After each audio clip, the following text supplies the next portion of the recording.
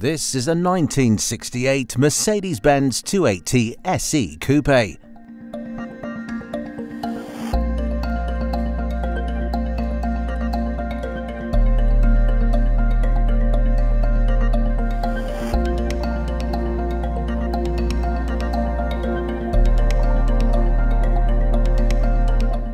One of just 150 originally supplied in right-hand drive specification, it was supplied new to Ireland and understood to have been in single ownership from new until 2018.